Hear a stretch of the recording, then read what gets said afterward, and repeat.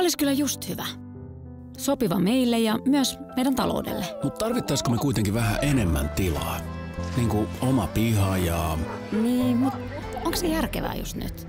Jos jättäisikin vähän enemmän tilaa talouteen ja muuhunkin elämään. Korkeakoulutettu. Hyödynnä akavalaisen asuntolainan edut. Danske Bankissa.